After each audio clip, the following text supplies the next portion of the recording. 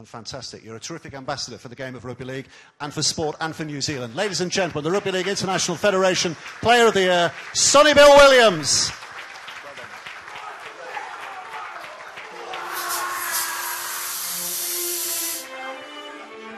Here's a ball and Sonny Bill Williams. Still there for Sonny Bill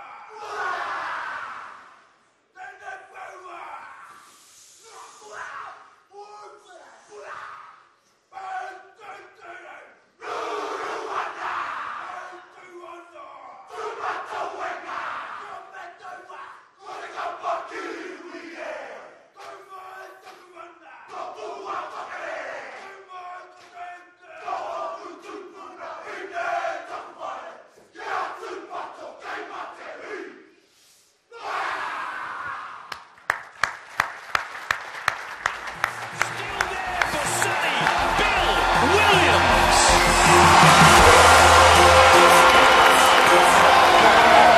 Wow, there have been some fantastic moments in this Rugby League World Cup, and that's one that is.